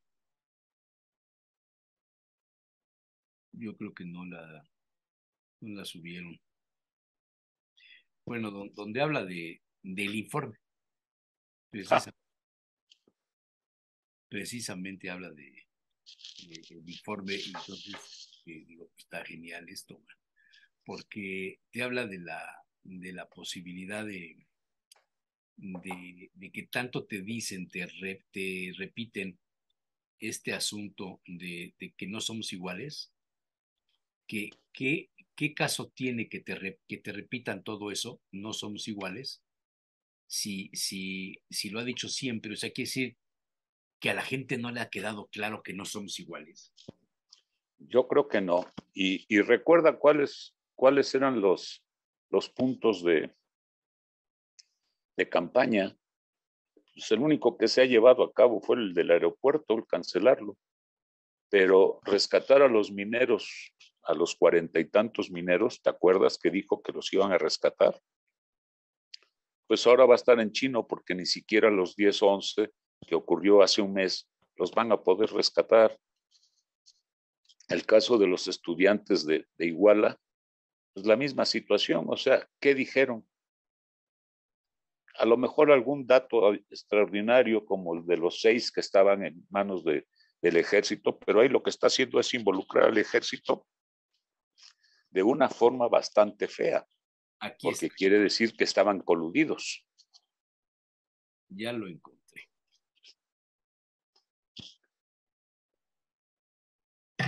Milenio Opinión.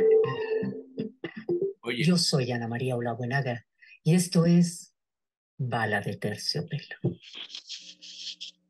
No somos iguales. ¿Qué ganas de que esto que escribo sea diferente a todo lo que usted lea en el día? Que no se parezca a nada. Que lo sorprenda, porque eso querrá decir que la semana que entra me volverá a leer. Ser distinto porque ser diferente en un mundo tan competido es siempre una ventaja. No en balde se trata de una de las estrategias publicitarias más viejas y socorridas en el mundo. ¿Harto de los bancos? Venga a nuestro banco, no es como ningún otro banco. Si usted piensa que todas las compañías de teléfonos celulares son iguales, espere a conocer la nuestra. El refresco de siempre ya le aburrió.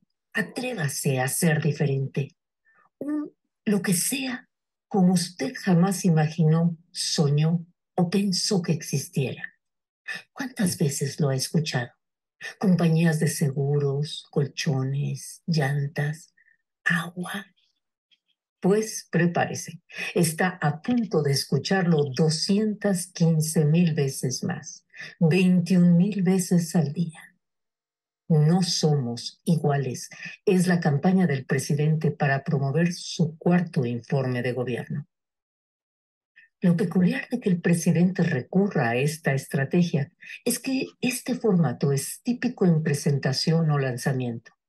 Más allá de que es una frase que al presidente le gusta, resulta curioso que lo utilice como eslogan publicitario al comenzar el último tramo de su sexenio y repetirlo un cuarto de millón de veces, descontando aquellas en que lo diga en la mañanera.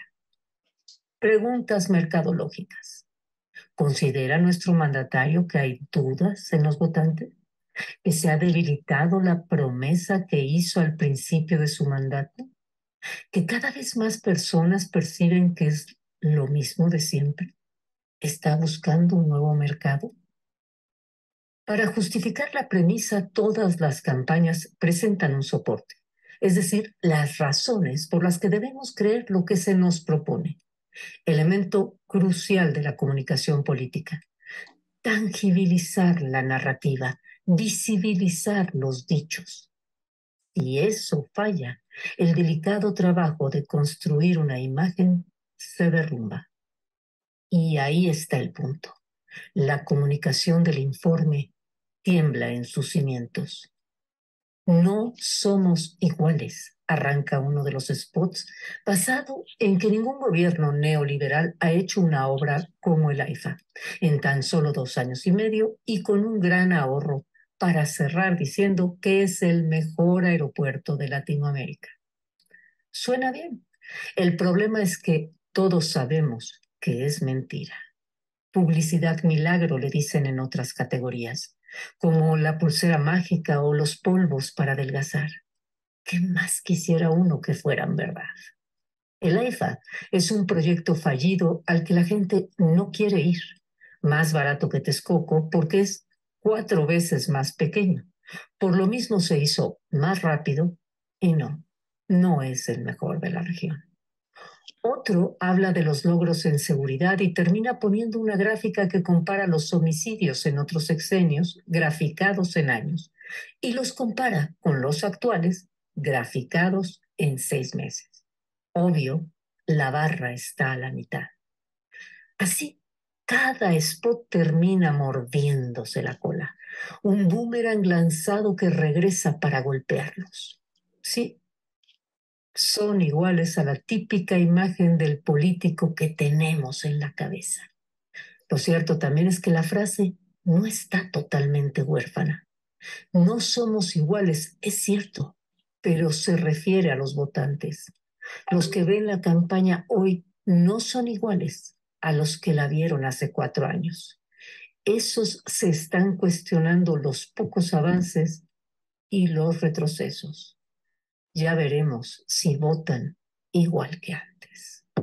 ¿Sigue informado? ¿Qué te parece, Miguel? Evidentemente, la voz de la mujer esta que es maravillosa, ¿cómo va analizando paulatinamente los proyectos fallidos al que la gente no quiere ir, dice, del AIFA? Más barato que Texcoco porque es cuatro veces más pequeño. Sí, y esta, esta, esta parte de, de No Somos Iguales, dice, arranca uno de los spots basado en que ningún gobierno neoliberal ha hecho una obra como la IFA. Suena bien, el problema es que todos sabemos que es mentira. Publicidad milagro, le dicen en otras categorías, como la pulsera mágica o los polvos para adelgazar. ¿Qué más quisiera uno que fueran verdad? ¿Cómo ves? La verdad, ¿Cómo empezó la columna? Diciendo que era que ¿Qué ganas? Ah, no, la, la columna se llama No somos iguales. No, pero ¿Qué empieza... de que esto que escribo sea diferente a todo lo que usted lea en el día? Que no se parezca a nada, que lo sorprenda. Porque eso querrá decir que la semana que entra me volverá a leer. Ser distinto, porque ser diferente en un mundo tan competido es siempre una ventaja. No en balde se trata de una de las estrategias publicitarias más viejas y socorridas en el mundo. Harto de los bancos, venga a nuestro banco, no es como ningún otro banco. Si usted piensa que todas las compañías de teléfonos celulares son iguales, espere a conocer la nuestra. El refresco de siempre ya le aburrió, atrévase a ser diferente. Un lo que sea como usted jamás imaginó, soñó o pensó. ¿Cuántas veces lo ha escuchado? Compañías de seguros, colchones, llantas, agua. Prepárese. Está a punto de escucharlo 215 mil veces más.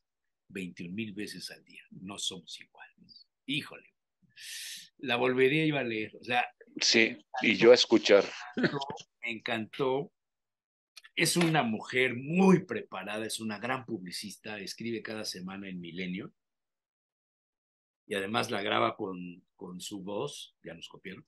Qué buena voz, qué buena voz. Una voz hermosísima. Sí. Hermosísima. Entonces, de veras, en serio, que te, te sacude. Te sacude. Te tenía yo un tema, pero no sé si te interese. A lo mejor. Si es, de, si es de Lola, no me interesa para nada.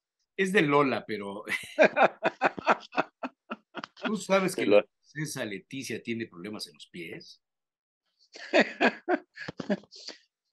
Así como hay infinidad de cosas que me tienen hasta la madre, hay una infinidad mayor que me vale madre.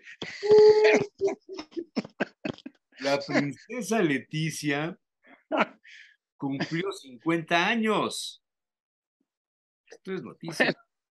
te lo voy a poner, te lo voy a poner porque luego tus fans. No, yo no tengo. Tus fans. tus fans? Hielo, quitarse los tacones y analgésicos, las soluciones a la enfermedad de pies de la reina Leticia por la que podría necesitar ser operada. La reina padece una metatarsalgia, así se dirá, crónica. Pues me imagino que sí. Sí, sí lo... nervios ubicados entre los huevos, digo, perdón, entre los huesos metatarsianos de los pies se opriman. Entonces, ¿qué usan los zapatos agudos, no? Pues no, no, es que no, no me frieguen a mí con estas noticias, de verdad. O sea. de 10 centímetros y esas cosas. Este, bueno, cumple 50 años y todo el mundo voltea a ver qué cosa está pasándole a la reina, porque pues ya 50 años. Este, luego hay otro artículo que dice caramelitos de menta, dolores de pies, cine a solas y sardinas de temporada, cosas que no sabíamos de la reina Leticia y que por supuesto no podíamos dormir sin saberlas, ¿no? Sí. Lo único, lo único que me interesa son las sardinas. La familia va al cine y si su marido e hijas no pueden, no duda en hacerlo sola. De esquiar y jugar al golf, nada de nada. No le gusta el círculo de Felipe VI. Ella es más de conversar en privado con gente célebre sobre asuntos de actualidad. A ver si le pedimos una entrevista, ¿no? hazle la lucha, pero no me invites a participar. no, te iba yo a, poner el, tema de, de lo que sucedió el sábado acá en Puebla, que vieron los... Ah. Morena, y la respuesta del gobernador que fue muy fuerte, muy, muy... Muy, muy fuerte, sobre todo me encantó cómo trató a Noreña, porque me cae que ya alguien le tenía que parar los pies a ese güey. Dije, güey, podía haber dicho diez mil adjetivos más, ¿eh? Déjate, dijo él, de, tus TikToks, de, tus TikToks, ¿no? Pero, pero, bueno, sí.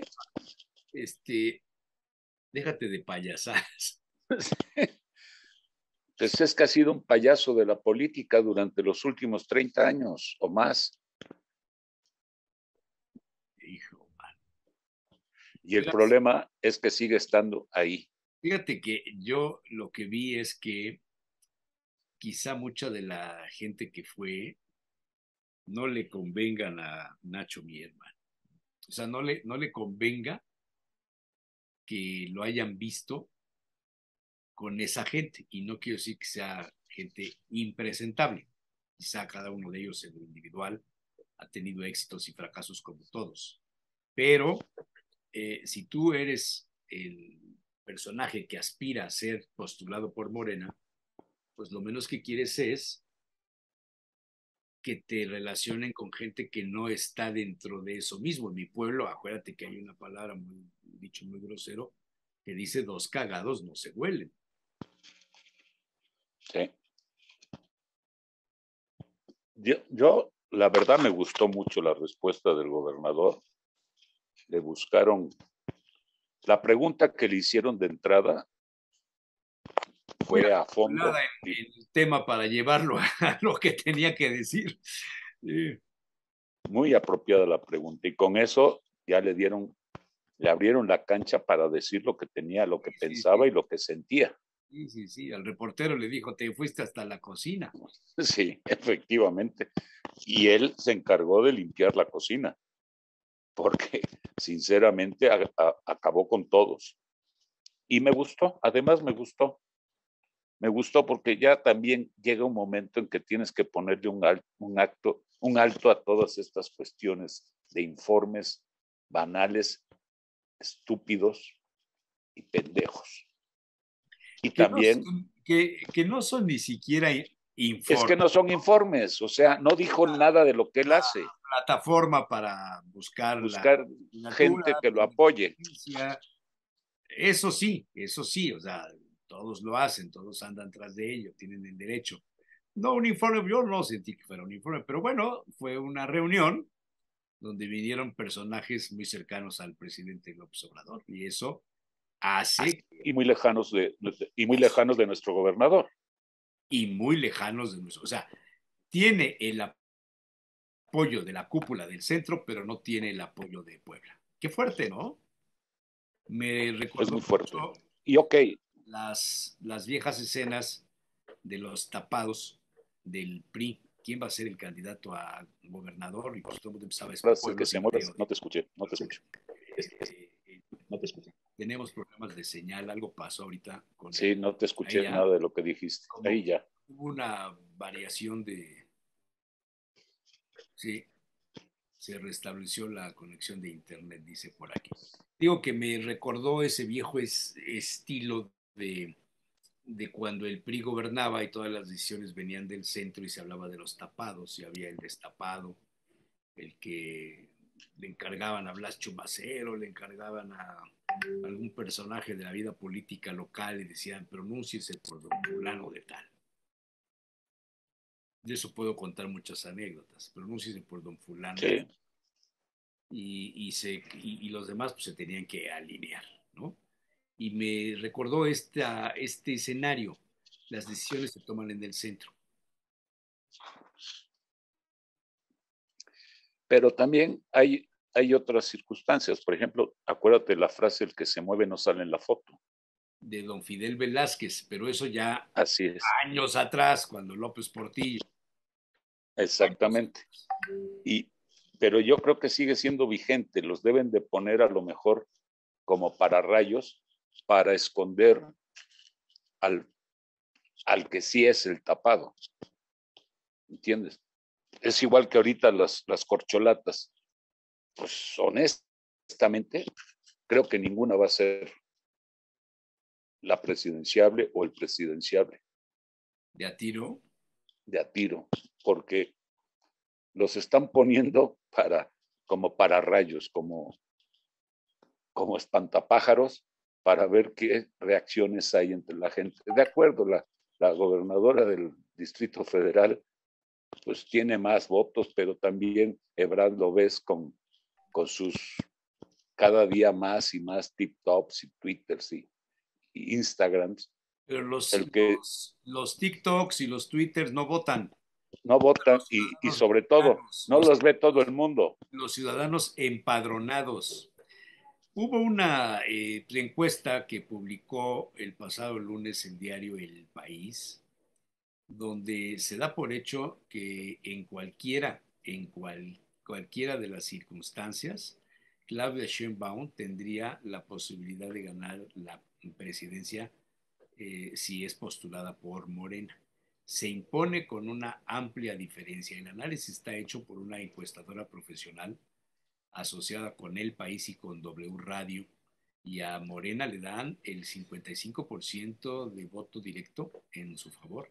Al PAN el 22, al PRI el 14, al Movimiento Ciudadano el 3, al PRD el 3, al PT el 2 y al Partido Verde el 1 ninguno el 13%, no saben o no contestó el 11%.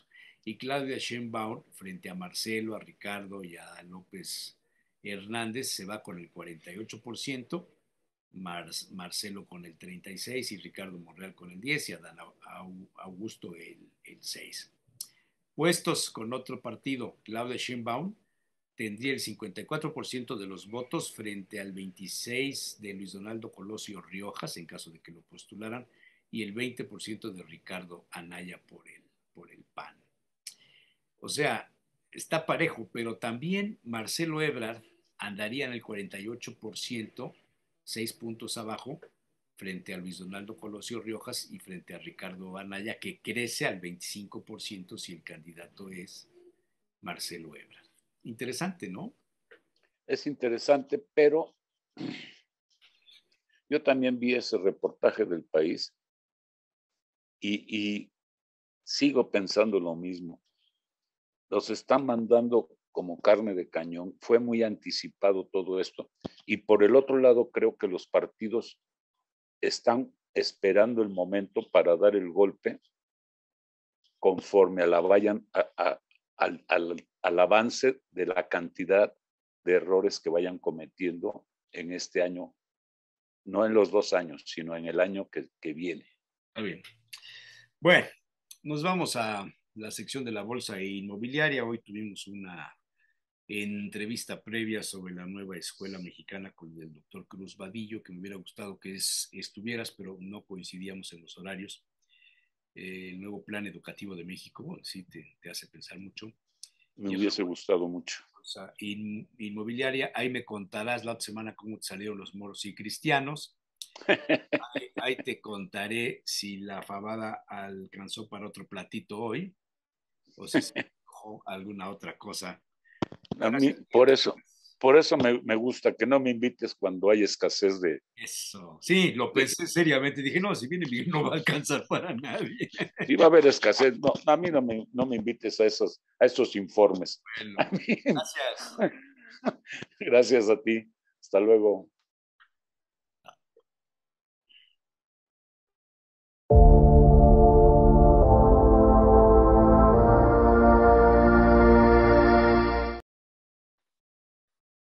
La sección de la Bolsa Inmobiliaria de Puebla regresa a sus orígenes con Hugo Sánchez Ramírez, que ha estado ausente durante algunas semanas. Don Hugo, buenos días. Hola, Chucho, ¿cómo estás? Buenos días. Bien, acá, contento de verte. ¿Qué cuentas? ¿Cómo van las cosas? Igualmente, pues este, creo que van bien. Van bien dentro, del, dentro de todo lo que nos ha implicado en estos últimos años. Este, las cuestiones de pandemia, las vicisitudes económicas, las guerras, en fin, todo eso pues ha implicado que nuestra economía, pues, como todo el mundo lo sabe, pues eh, no, no, haya crecido como se esperaba, ¿no? Porque si, si en el 18 que nos decían que íbamos a crecer de una manera espectacular, hubieran calculado que dos años íbamos a estar parados toda la economía, pues no lo íbamos a creer. Sin embargo, pues eso sucedió y creo que vamos saliendo paulatinamente a pesar de los índices inflacionarios tan altos que tenemos y que pues este, no estábamos realmente acostumbrados, menos las nuevas generaciones, a hablar en términos inflacionarios del 8 o 9%, que estamos casi, casi a punto de llegar. Y la verdad espero que no lleguemos a dos dígitos en cuanto a la eh, al, índice inflacionario porque eh, pues muchos productos, muchísimos, si no es que todos, incluyendo la propia vivienda, está inmerso bajo esa esa tesitura, eh, comenzando con la vivienda de, la vivienda que se ocupa, la residencial, la media, la, el interés eh, social, todo eso, pues va, va en función de la inflación, los incrementos van en comerciales, generalmente los manejan o se manejan este, con un porcentaje arriba de la inflación, entonces los porcentajes en los incrementos tan solo en las rentas, pues sí se van a ver afectados el próximo año, indiscutiblemente. Y eso pues sigue eh, aumentando la cadena de incrementos este, y pues ahí el Banco de México tendrá que trabajar severamente en función de no tener una inflación este, galopante, que esa es nuestra preocupación fundamental, pues para este fin de año y para el próximo año. Sin embargo, fíjate que muchos, uh, mucha gente, muchos de nuestros clientes nos dicen, nos preguntan, oye, ¿y, y qué, nicho de mercado nos recomiendan para, para invertir? Y, eh, pues, eh, de hecho, pues hay, hay, varios nichos, ¿no? Todo mundo lo sabe, el, el nicho de las divisas en donde este, tú puedes comprar o meter tus ahorros en, en dólares o en euros. Y muchísima gente, bueno, vamos a quitarle muchísimo, pero, mucha gente que conocemos le apostó eh, eh, principio de este, sino ya muy cerca de los que han invertido en dólares, yo creo que ha sido la peor decisión, 20 pesos, los 19 pesos, y entonces ahí entre el cambio de, le perdieron al comprar y ahora al quererlo vender, pues también le van a, le van a perder. Otros han, han invertido. ¿Cómo le afecta al mercado de los inmuebles que la inflación vaya en ascenso, que no tenga un tope? mucha pues gente se deshace de sus propiedades para solucionar una deuda.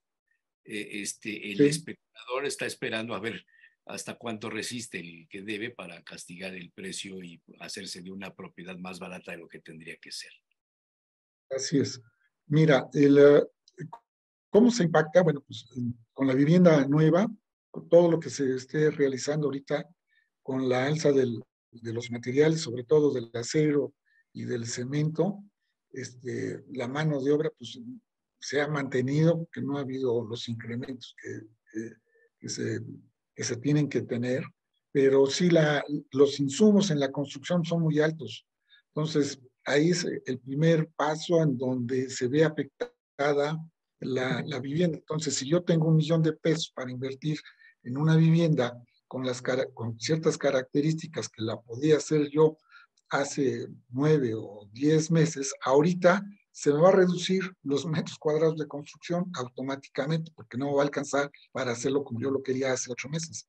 Entonces, ese es un factor. El otro factor, eh, si yo quiero hacer mi casa con base a lo que yo tengo establecido, con ciertos metros cuadrados, con ciertas características determinadas, etcétera, etcétera, va a tener un precio determinado. Ese me va a mí a obligar a venderlo este, obviamente pues más alto para yo tener una utilidad y o este, con base a la inversión total que yo haya eh, ejecutado, vamos a decir que si yo tenía presupuestado un millón y me salió en un millón y medio, pues yo tengo que reflejar mi inversión en función de la rentabilidad. En función de la rentabilidad. Parece que estamos teniendo implica la inversión. Entonces, ahí, ¿me escuchas? Sí, pero están los altibajos en la red, ¿no? No sé qué está pasando. ¿Hay algún problema ya? Pues ojalá dicen. Red, sí. Red. Sí, te oigo, te oigo. Entonces, esa parte es la que nos, nos preocupa, ¿no? Sí nos, eh, nos afectan los, eh, los, la inflación, sobre todo, es lo que nos está ahorita haciendo mm, mucho ruido, ¿no? En función de ver hasta dónde llegamos y cómo, cómo llegamos. Sin embargo, fíjate que hay buenas expectativas mm, a, nivel nacional para que este, la inversión inmobiliaria se vea mm, beneficiada, ¿no? Hay estados en el norte del país que está entrando mucho dinero de inversión extranjera directa en empresas. Eh, Chihuahua es uno de ellos, Nuevo León es otro, este, de los estados que, han, recibido cantidades muy importantes en, cuanto a una inversión directa en moneda extranjera. Y uh, otro de los estados en donde también ha sido fundamental y es una muy importante ha sido Yucatán. Yucatán está recibiendo inversión directa extranjera de muy buen talante y es uno de los estados que han volteado no nada más los extranjeros, sino también a nivel nacional, inversionistas y desarrolladores, para detonar, junto con el 30 mencionado, este, nichos uh, de, inversión eh, en cuanto a otro tipo de, de, vivienda con características muy propias de la zona, o sea, principalmente ecológicas, y a la gente le está llamando mucho esta idea de, invertir en, centros ecológicos, donde pues, prácticamente la luz sea este, solar, eh, todo sea ecológico, y, ha tenido muchísimo éxito eh, en, la parte de, de, Yucatán y la parte de Quintana Roo, en la zona de Tulum, y todo eso, verdaderos desarrollos, ha habido mucha inversión. Entonces, al, contestar la pregunta de nuestros clientes en función, oye, ¿qué me aconsejas en Puebla para poder invertir? Pues uno de los mercados importantes, interesantes, es invertir en bienes inmuebles en preventa. Ciertamente es algo riesgoso mm, apostarle a inmuebles en preventa con empresas que no se conocen muy, mucho en el mercado. Sin embargo, hay empresas que este, históricamente han, han dado muy buenos resultados en, en, cuanto a sus desarrollos. Y les han dado a sus inversionistas, eh, pues eh, en un año, cerca del 30% o del 15%, del 15% anual y han llegado hasta un 35% en un periodo, perdón, más, hasta un 80% en un periodo de dos o tres años en su inversión. Y lo, lo, lo, vemos muy claro y muy palpable en el momento en que, por ejemplo, se desarrollaron este, inversiones en, en la zona de Angelópolis o en los grandes eh, complejos este, de, de, edificios y todo eso, que los que invirtieron ganaron muy bien en las preventas porque la preventa te hacen un descuento inicial de un 12, un 10%, que ya vas de gane, y en el momento que te dan por terminado, ya te, entregan tu producto, pues ya tiene un valor adicional de un, un 15, un 20%, y ahí es a donde ya estás ganando. Es un método para, para el desarrollador para financiarse.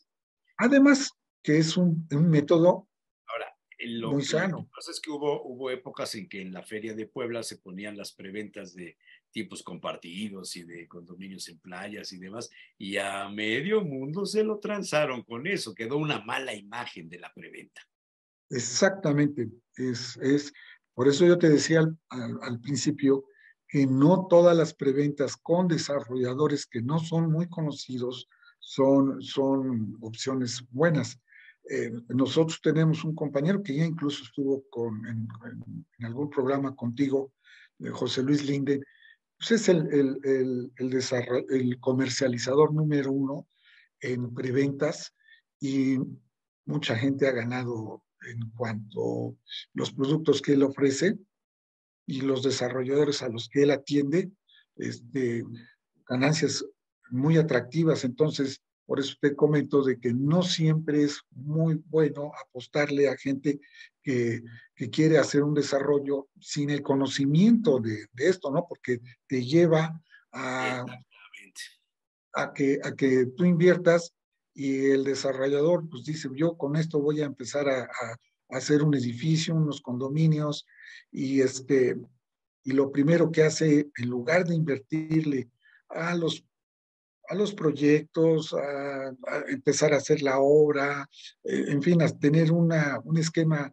eh, financiero con flujo de efectivo adecuado, todo eso, pues se va a la inversa, toma el dinero como si ya fuera las utilidades y deja al descubierto la, la inversión que se tiene que generar en los, este, en, en, pues en el desarrollo.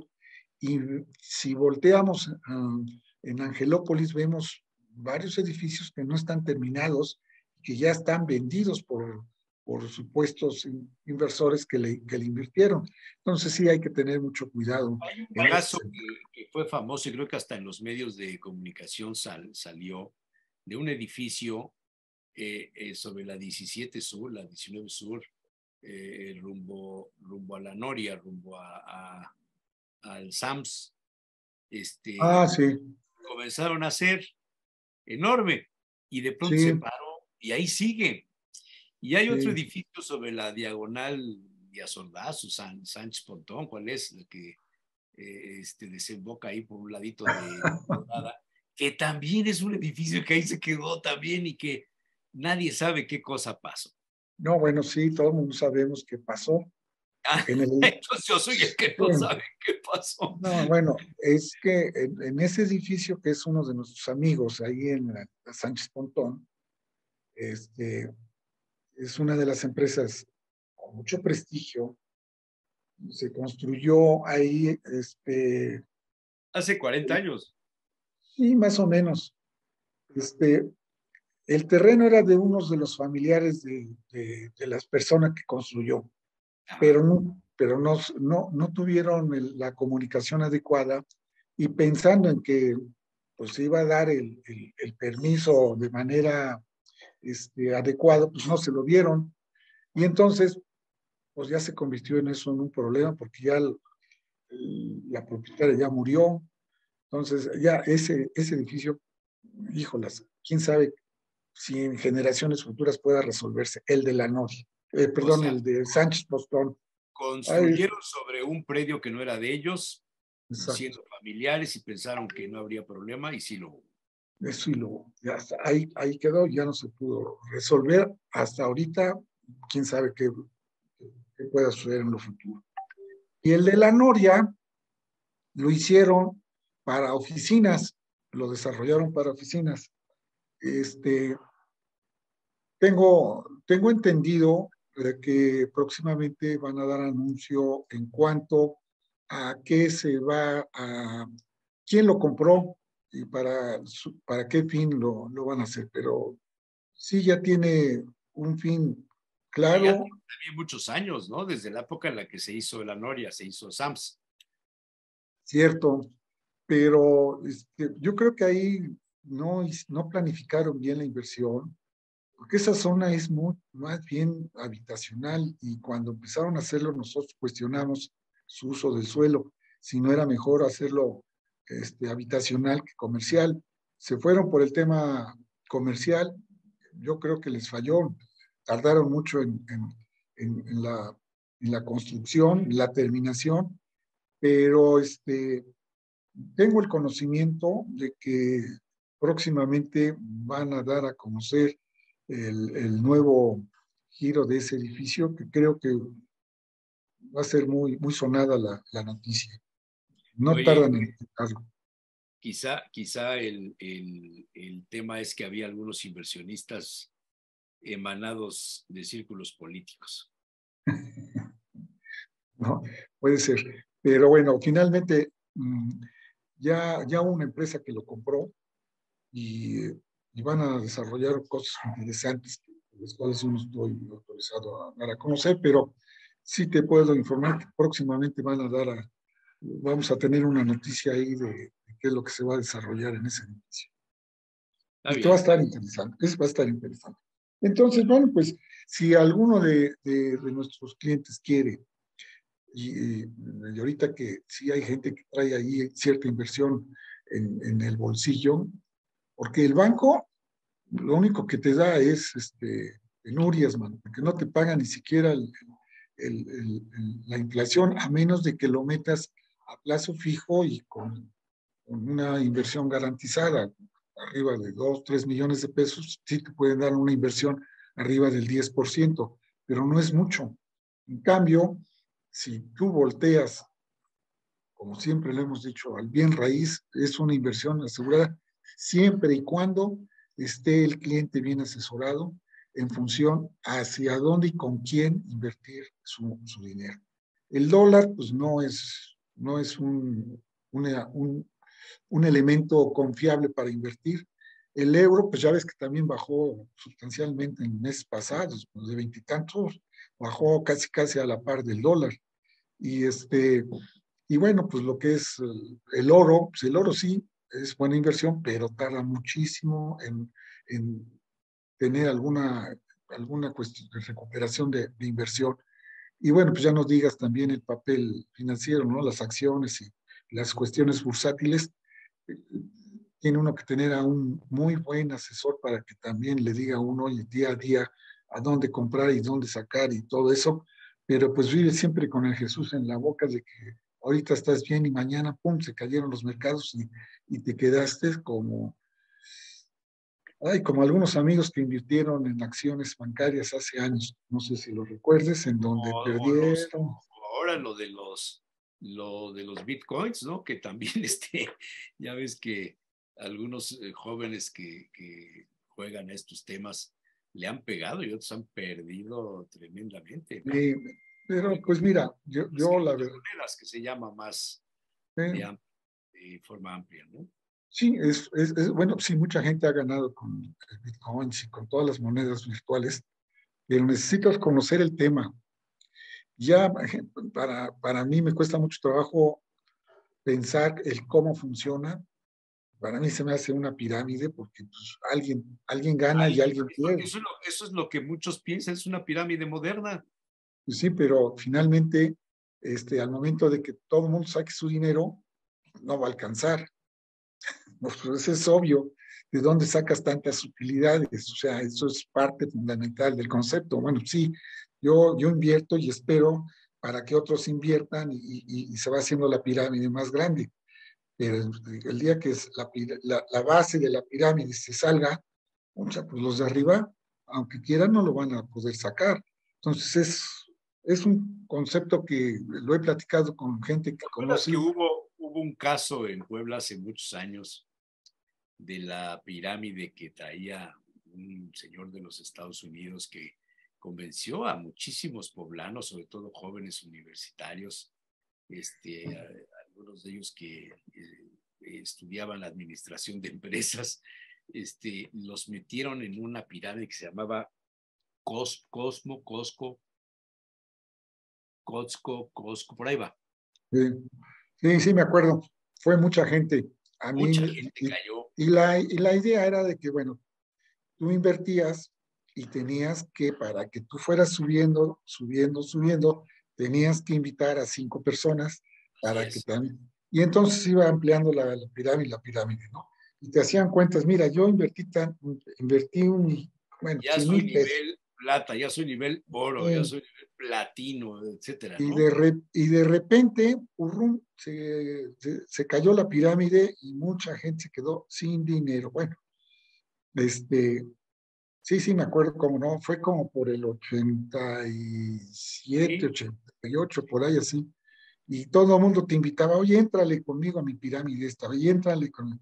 Todo el mundo te andaba este, invitándole, no, pues, era, era difícil. Eran tiempos muy complejos también porque acuérdate que en esas épocas no había la posibilidad crediticia y es una de las formas que mucha gente este, obtuvo recurso financiero mal, mal, mal planeado porque finalmente tú tenías que devolverle a los que habías invitado y entonces te hacías corresponsable de la devolución de ese dinero. Entonces, ¿de dónde?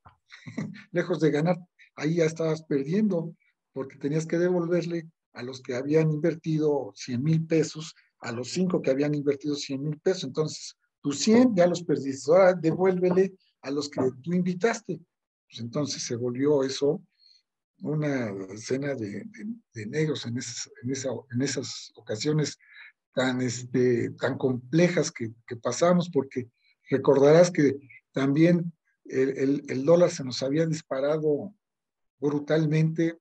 No sé si recuerdas, México no tenía posibilidades de comprar materias primas porque no teníamos, creo que había 3 mil millones de, de, dólares en el banco no había reservas, ¿no? No, había, reservas. no había reservas, las reservas se habían acabado.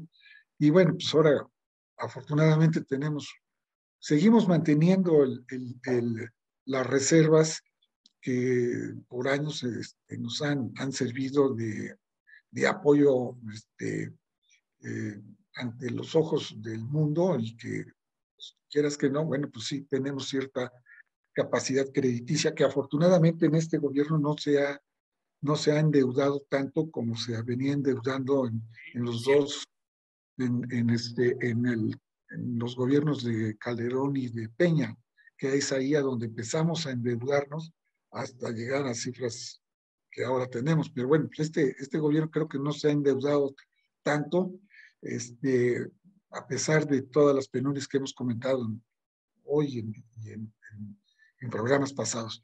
Pero pues así es, así es la cosa, mi querido Chucho. Muy bien, pues muy interesante como siempre. Gracias así por que, de nuevo. Hombre, gracias a ti. Así que si tienes recursos, que creo que sí los tienes, pues no, no dejes de voltear. en un bien raíz. ¿Eh? Pues ahí te vendo unas macetas para que plantes las raíces. sí, ese es otro negocio que se conoce como bienes y raíces. Bienes y raíces. Entonces, cuando dice una persona, yo me dedico a los bienes y raíces, está bien el tema, pero se dedica entonces a, a vender plantas. Entonces, pero no, nosotros, nuestra actividad es el bien raíz. Muy bien. Bien, bien, real. Hugo Sánchez, como siempre, un placer. Muchísimas gracias. Gracias por atendernos. Nos vemos la próxima semana. Gracias. Muchas gracias.